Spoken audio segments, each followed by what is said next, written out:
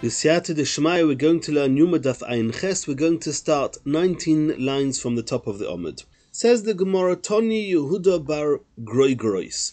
And we're still learning about the halacha of the prohibition of washing oneself on Yom Kippur. And Yehuda bar Groigrois taught in a brisa, Osur leishev al gabe tino b'yom kippurim. If somebody is hot and he wants to cool himself down, so he wants to sit on top of some moist mud in order to get the pleasure of of that feeling of moistness on Yom Kippur, and it's a pleasure which is similar to washing, says Rashi. So that's also to do on Yom Kippur. Omer Bishua ben Levi, Rabbi Bishua ben Levi adds, but that's on condition ubatino metapachas. That's only if the mud itself is very moist. Omar Abaya, and Abaya said, ubateiferch almenos latfiach the level of moistness, the way to know whether it's moist enough that it should be similar enough to washing, that it should be also on Yom Kippur, is that when you touch it, you get damp enough, wet enough, moist enough that if you touch something else, that something else would become moist. Omer Rav Yehuda. Rav Yehuda says, Mutalit stanin b'peiros, one is allowed to cool oneself down with fruits, one's allowed to press some cool, cold fruits or vegetables onto a person's flesh to cool himself down. Rav Yehuda mitzdanin bekoro, Rav Yehuda would cool himself down with this vegetable called koro, possibly what we know today as squash. Rabba mitzdanin biyanuka, Rabba would actually take a soft and cool child and a baby and cool himself down by cuddling the baby. Rava mitzdanin bekosa de kaspa. Rava would cool himself down with a silver cup. The cool texture of the silver, he would put it onto his flesh and cool himself down. Omar of Papa, Rav Papa says, Kosa de kaspa mole osur. The silver cup, if it's full of liquid, it's also to use it to cool oneself down, because we're afraid that the water may spill onto his flesh, and that would be considered washing on Yom Kippur. Choser, however, if the silver cup is not full, shori, then it's mutter. De pachra, regarding cups that are made of earthenware, idividi asur, irrespective of whether the cup is full or not completely full, it's asur mishum de mishchal shochil, because typically the liquid would seep through the walls, the sides of the earthenware cup, and therefore we're always afraid that this is considered washing on Yom Kippur. Rav Ashi Omar, Kasa de kaspa choser nami osir, even a silver cup, even if it's not completely full, it's also also mishum demizdorev because it could slip out of a person's hands, and if it does slip out of his hands, then again the liquids would fall onto the person's flesh, and that would be considered washing on Yom Kippur. Now the Gemara relates, Zeiri bar Choma, ushpizchonin de Reb Ami V'Rebbe Asi, V'Rebbe Yeshua ben Levi, or the Kulu Rabbanon de Kesari Hava. This is the Iri Bar Choma, was actually the host of all these Chachomim, Reb Ami, Reb Asi, Reb Yeshua ben Levi, and all the Chachomim of Kesaria. And Omalele Reb Yosef bereid Reb Yeshua ben Levi. And he said to Reb Yosef, the son of Reb Yeshua ben Levi, Bar Arya, you, Rav Yosef, the son of a lion, referring to Yeshua ben Levi the lion, Ta emeloch milsam aliasa dehava ovid avuch. The Zeiri Bar Choma, he said to Rav Yosef, I'm going to tell you something ma'alias or something noteworthy that your father would do. And Zeiri was witness to this because he was the host of Rav Yeshua ben Levi. And what was that? Mitpachas hoyole he would take a towel on the eve of Yom Kippur, on Erev Yom Kippur, V'sheire oisa b'mayim, he would soak it in water. V'oisa oisa kamin kelim neguvim, and he would make it into a dry object, a dry item, which means that he would wring it out so that it no longer dripped any water. However, there was some moisture that was still left in it. Ulamocher, and the next day on Yom Kippur, mekaneach ba'ponav yadav he would wipe his face, his hands, and his feet with it. Since the towel had been wrung out the day before, and overnight the towel had continued to dry, and therefore it was no longer saturated with liquid to the extent that was teferch al latfiach that we saw earlier on, and therefore using it to cool oneself down on Yom Kippur was not an act of washing, and it was mutter. Erev Tishabov, on the day before Tisha B'Av, he would soak the towel in water. He would not wring out the towel. He would just leave it to dry on its own. And the next day he would pass it over his eyes. And what was going on here is it seems that just leaving this towel overnight was sufficient, that it should not be wet enough to be considered washing regarding Yom Kippur and Tisha B'Av. However, since he didn't wring it out, there would still be the risk of him being transgressing the issa of schita, of squeezing on Yom Kippur. On Tisha B'Av, there's no issa of squeezing, it's a regular weekday. And therefore, on Yom Kippur, he would wring out the towel to make sure that not only there was no issue of washing, there would also be no risk of schita.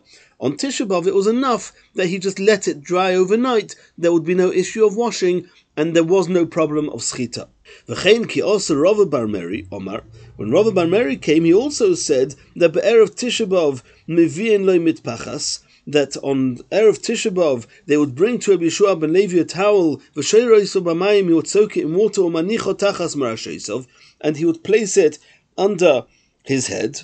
And this is a detail that Zeiri didn't mention, Bar Choma didn't mention before, but there's no reason to believe that they were contradicting each other. The two stories were the same. Ulamachar, the next day on Tisha B'Av, Mekaneach, Ponov Yodov Raglov, he would wipe his hands, feet, and face with it. Be'erev Yom Kippurim, Mevim Lo Mitpachas. On Erev Yom Kippur, they would also bring him a towel, V'sheira B'mayim, and he would soak it in water. And here, in order to avoid schita, V'oisa Oisa Kamin Kalim Neguvim, he would wring it dry in order that the next day there should be no issue of squeezing.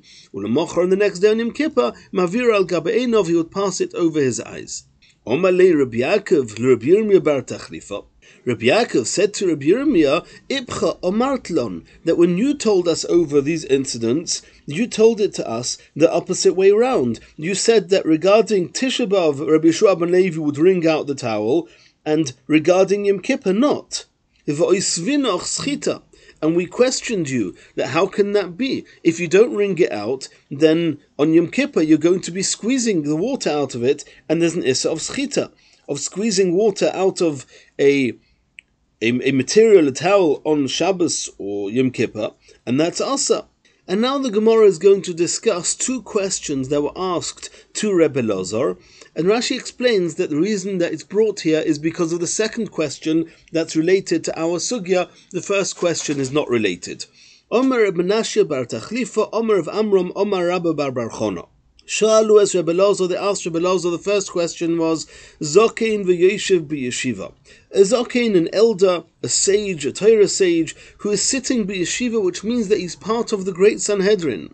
Does tzorich litel reshus lehatir b'chayro? So tzorich.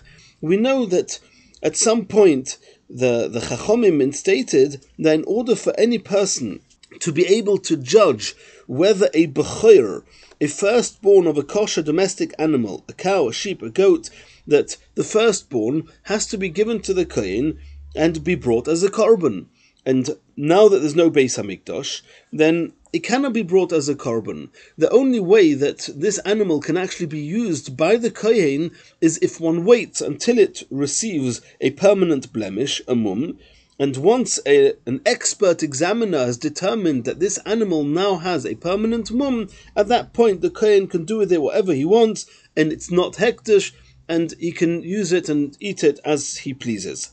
Now, when uh, this animal, these bechiris, the firstborn of these animals, were given to the Kohanim, then they were forced to feed and to watch and protect this animal all the while until it received a blemish. Once it received a blemish and the expert determines and confirms that it has a blemish, only then the Kohen can shecht it and eat it and enjoy it. The question is that who was allowed to be this expert to determine that indeed there's a blemish?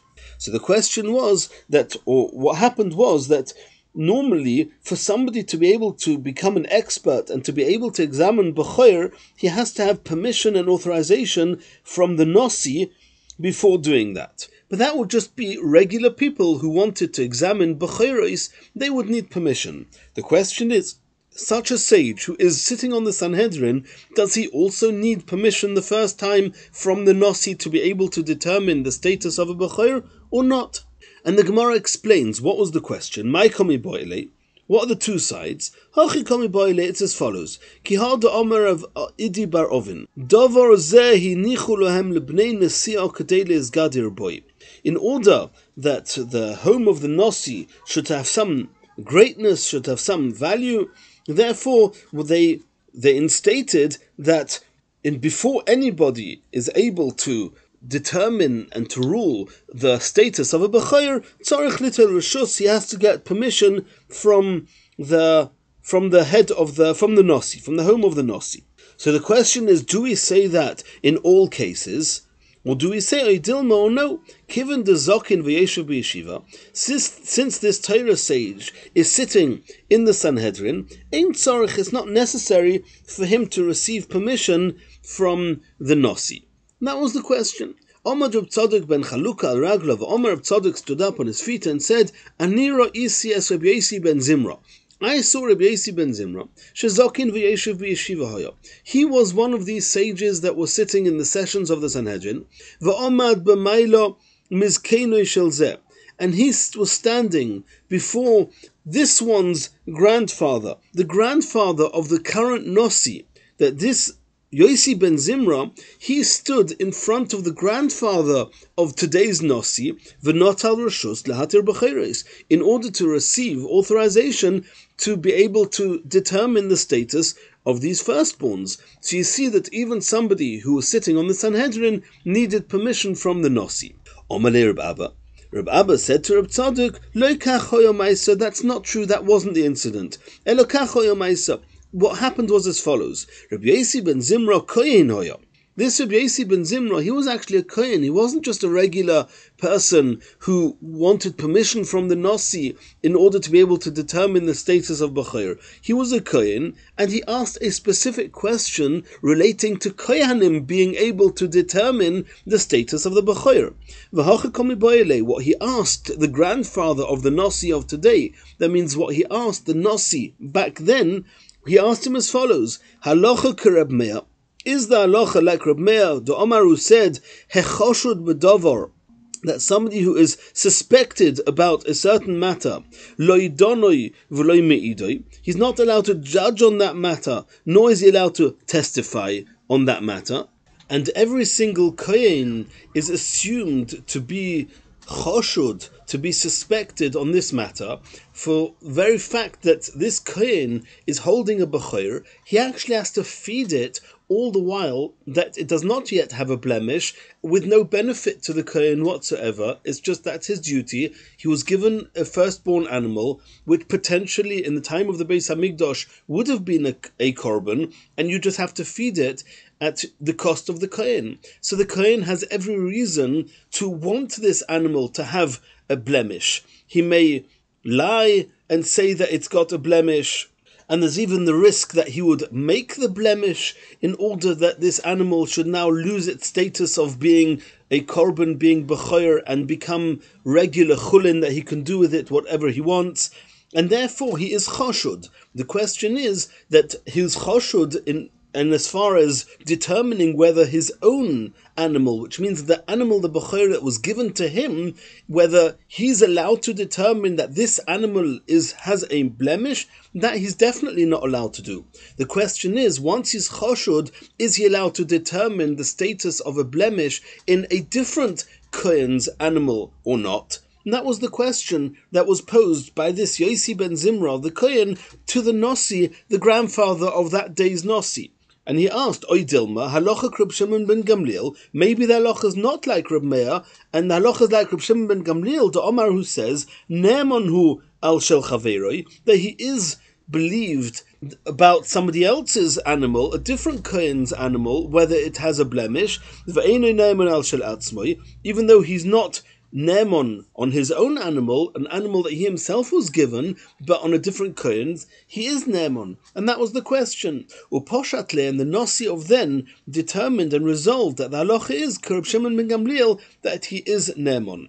And since that was the question, then the question was not in any way about does somebody sitting on the Sanhedrin have to have permission from the Nasi before becoming an expert in determining the status of a Bechir? That was the first question that was posed to Rebbe A further question that was asked of Rebbe and that's the one that's relevant to our sugya here. Mahu lotzeis besandol shel sham. We know we're not allowed to go out with regular shoes, and typical shoes are made of leather. Is one allowed to go out on Yom Kippur with a sandal made of sham, which is a type of plant, a type of growth, something which is not your typical material that's used for shoes? Omar Rabbi Yitzchok Bar Nachmoni al Raglov Omar. Yitzchok Bar Nachmoni rose and he suggested to resolve this. Anira Isias Rabbi Yeshua ben Levi. I saw Rabbi Yeshua ben Levi sheyotzo basandal shel sham b'yem that went out with this reed type of material of sham as his shoe, as his sandal on Yom Kippur. Va'aminale. And I, Rabbi Yitzchok Bar Nachmani, asked and said to Rabbi Yeshua ben Levi, Betainis tzibur mai, I can see that you're going out on Yom Kippur like this. What would you do on a regular public fast day? And these were fast days which are discussed at length in Maseches Tainis Daf Yud Beis, where when there was a drought, when there was no rain falling, then the Chachomim, they made a fast days, and on those fast days, the same afflictions that were applied on Yom Kippur applied on those fast days. And since those fast days are midrabanon, it could be that the Rabbanon added even more affliction and more details to the afflictions than Yom Kippur. And maybe they said that on a Tanis Tzibur, you're not even allowed to go out with shoes made of sham. Omerli, and he said to me, Leishna, there's no difference. That in the same way as on Yom Kippur, one's only not allowed to wear regular shoes, but one is allowed to wear shoes of sham. So too on a fast day, the prohibition against wearing shoes is only the regular shoes, not those of Sham. Omar Rabbi Bar Anira see as Rebbe Lozo de Ninve. I saw, says Rabbi Bar Bar Chona, I saw Rebbe Lezer from Ninveh, Sheyotza Basandal Shel Sham, Batanis Tzibur. I saw him going out on the public fast days, on those fast days that were made when there was a drought and everybody was fasting, they were not allowed to wear shoes. And I saw him going out with shoes of Sham. And I said to him, what would you say is the halacha on Yom Kippur? When Yom Kippur is a more stringent day, it's Minatera. Would you go out with such shoes as well? Omarli Loishno, he said to me, there's no difference. The same shoes that one's allowed to go out on a public fast day, one's allowed to go out on Yom Kippur. Rav Yehuda Nofik B'dehitni, Rabbi Yehuda would go out on Yom Kippur with sandals made of hitni, which is also a type of a reed. Abaya Nofek, Bidahutzi, Abaya went out on Yom Kippur with sandals made of palm leaves. Rava Nofik, Rava would go out on Yom Kippur with sandals made of Bidayavli, with a type of a grass. Rabbi Bar Rav Huna, Korech Sudra Akare, Vanofik, Rabbi Bar Rav Huna, he would wrap a piece of material around his foot and go out with it on Yom Kippur, even though this material would somehow make it more comfortable and pleasurable for him to walk, he would do it on Yom Kippur. This is not considered wearing a shoe. Mosiv Romi Barchoma, Barchova, Barchoma now asked a question from a Mishnah. It says in the Mishnah, Hakitea, an amputee, somebody who's missing one of his feet, Yoitze bekav shaloi. A kav is a wooden foot that would typically have a groove in it where the stub of his, what's remaining of his foot, would sit into it. Divi Reb Meir, Reb Meir would say that this amputee is allowed to go out with this wooden foot on Shabbos. Rabbi Yossi Oyser. Rabbi Yossi says he's not allowed to go out with that wooden foot on Shabbos. And at this point, it would seem that the machlekus is: is this considered a shoe? Is it not considered a shoe? According to Reb Meir, this kav, this wooden foot, is considered a shoe, and according to Reb Yossi, it's not considered a shoe. If it's not considered a shoe, you're not allowed to go out with it on Shabbos. Tony Allah. And we learned in the Braisa, in reference to this Mishnah, V'shovin sha'asur lotzis kippurim, that both Reb Meir and Reb Yossi agree that on Yom Kippur, one's not allowed to go out with this wooden foot. So what do we see from here? We see that even a type of a a shoe or a sandal or something with, with, in which one walks that's not considered a regular shoe uh, that's why Rabbi Yossi says you're not allowed to go out with it on Shabbos because it's not considered a shoe. Nonetheless, you're not allowed to go out with it on Yom Kippur. So how can all these other types of sandals mentioned in the Gemara, whether it's sham, whether it's dehutzi, dehitni, diavle, and etc. How could all these Amoraim go out with these shoes? Why is it different to the wooden foot of the amputee, which according to Rabbi is not considered a shoe, and nonetheless on Yom Kippur it was also? So answers the Gemara, Omar Abaya, Hasam Ispe Ksisin. The reason you're not allowed to go out with it on Yom Kippur is because of pleasure because there's small pieces of rags of material that were positioned that were placed between the top of this wooden foot and the stub of the person's leg. Or mishum tainug, since there were these pieces of material and rags there, it's somewhat pleasurable to go out with it, and this pleasure was not allowed on Yom Kippur. And the Gemara is now going to ask a few questions on Abaya. Omale Rova, v'ilav monahu, if you assume, as we did assume, Rabbi Yossi says that it's also to go out with it on Shabbos because it's not considered a shoe, it's not considered a utensil, it's not a shoe, ksisin meshavele mone, just because there's material there, then it's going to be considered a shoe? And some Mepharshim delete these words because nobody suggested it was considered a shoe that what Abaya suggested was that because it's Tainug, it's also Yom Kippur. But either way, Va'oid, called Tainug, Delav min olhu b'yema kippurim mi osur, are you going to say that indeed it's not a shoe, but there's pleasure because of the soft texture of the material there, well, something that's not a shoe is also on Yom Kippur. Where do we find such a thing that you're not allowed to have pleasure on Yom Kippur? We know that the five afflictions you're not allowed to do on Yom Kippur. You're not allowed to wear shoes. But if it's not a shoe, then so what that you have some level of pleasure? Sudra akari. We saw that Rabbi baravhuna he would wrap this piece of material around his foot and go out with it, and nobody would suggest that that's a shoe and it's giving him extra pleasure, and there was no issue with that. Since we learnt in the continuation towards the end of that Mishnah that was quoted, that im yeshloi base kibul ksisin, if this wooden foot has a receptacle for these rags and pieces of material, then Tommy, it's considered a utensil, and it can be makabel Tommy. It's susceptible to becoming Tommy. So what can we imply from that? Michlal Doreisha, we would imply from that that the first part of the Mishnah is lav b'de'isle ksisin oskinon. We're not talking about where there's a receptacle for it to contain some rags. So how can you Abaya say that the first part of the Mishnah that says that everybody agrees it's also in Yom Kippur is because you've got the rags there. It's only in the continuation of the Mishnah that speaks about this wooden foot that has a receptacle for the rags. Ella Omar Rova, Rova has a different way of explaining that Mishnah.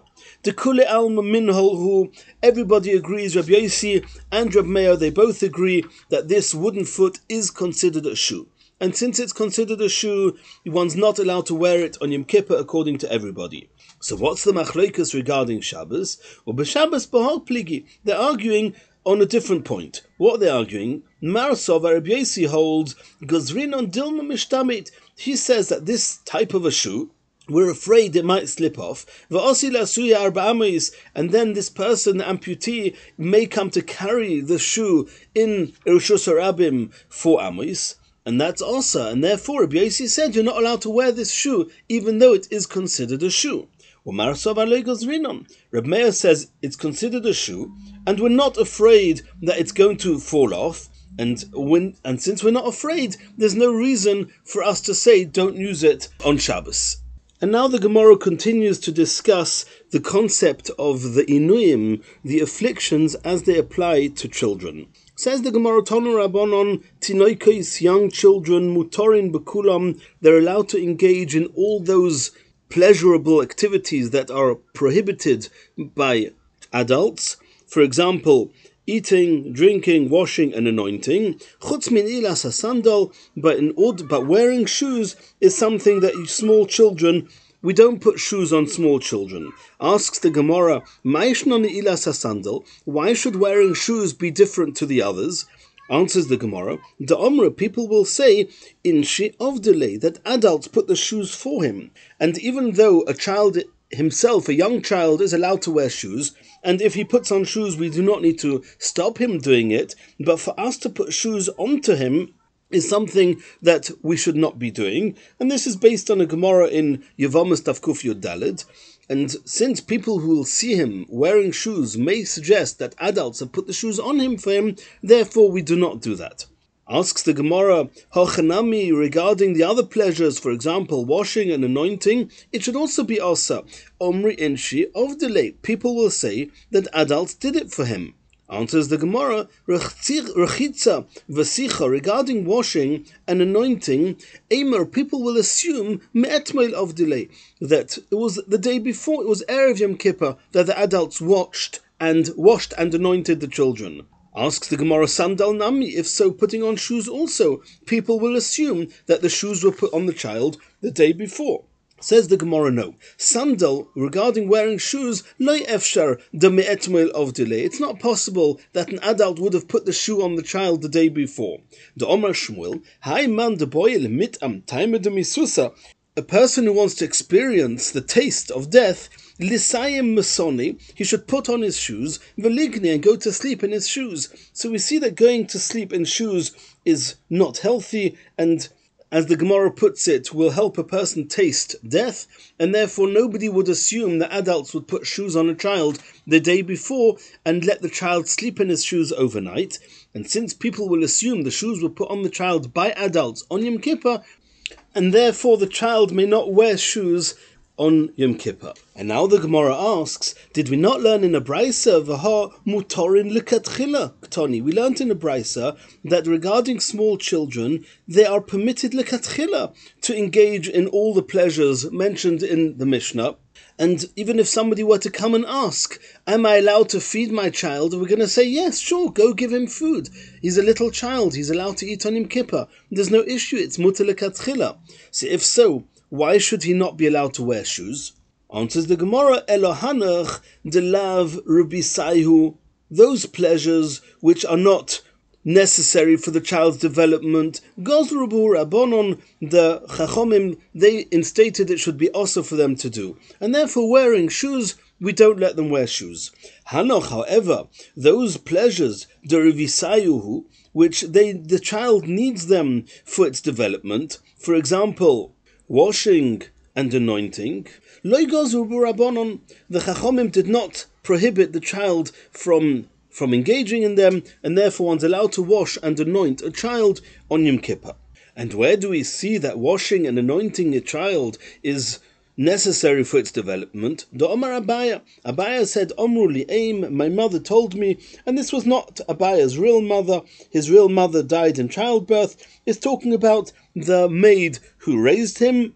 And she said that Ravise Diyanuka, the development of a young child requires Maya Chamima, that he's bathed in warm water, or Mishcha, and he's anointed with oil. God al Purta, when the child grows a little bit older, Bea it requires that you feed him with egg and kutach.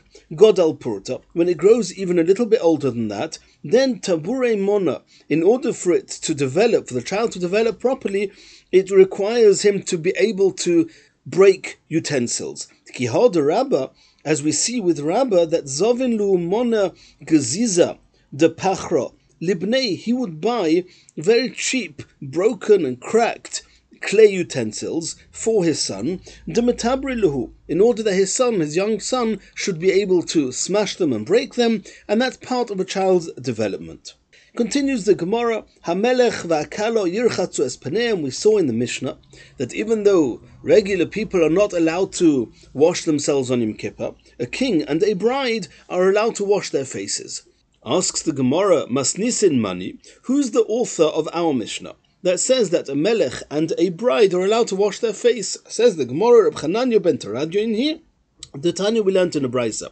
Hamelech va'akalo lo yirchatzu es peneim. A king and a bride are not allowed to wash their faces. Reb Chananya ben Tradio noimer mishum Reb Eliezer. He said in the name of Reb Eliezer, Hamelech va'akalo yirchatzu es peneim. They are allowed to wash their faces, like in our Mishnah. Hachayo, a a mother who's just given birth, loy sandal, is not allowed to wear shoes. Again, that's the opinion of the Tanakama. Reb Chananya ben Mishum Reb. Again, Reb Chananya says in the name of Reb that Hachayo Tinoiles Hasandal that a new mother who's just given birth is allowed to wear shoes on Yom Kippur. And now the Gemara is going to explain the opinions of Rabbi Eliezer as quoted by Rabbi Hananya ben Teradyon. My Tama, what would be the reason behind the lenient ruling of Rabbi Eliezer? Melech, in the case of the king, the reason is Mishum Dechsiv, it says in the Pasuk, Melech beyofyoi techezeno einecho, that your eyes will behold a king in his splendor. So we see that it's appropriate for a king to be seen in his splendor. And in order to be seen that way, he has to wash himself. Kalo Maitama. What would be the reason that a bride is allowed to wash her face on Yom Kippur? So that she will not become repulsive to her husband. She's just got married. It takes time to develop the relationship. So the first 30 days, she's allowed to wash her face. Rav Rebchia. Rav Kalo ad kamo. How long is a bride considered a bride that she's allowed to wash her face on Yom Kippur? Omarle, Kedetani, we learnt in a brisa, Ein moin in tachshitin, we do not withhold tachshitin, which means cosmetics, min hakalo, from a bride, kol shloishim yom, for the first 30 days from when she gets married. And now going back to the brisa, Hachayo tinoiles asandal, the new mother, just after birth, that according to Eliezer, she's allowed to wear shoes, mishum tzino, because the cold is detrimental for her, it's harmful for her, and therefore, since she's just after birth, she's allowed to wear shoes on Yom Kippur. Omar Shmuel.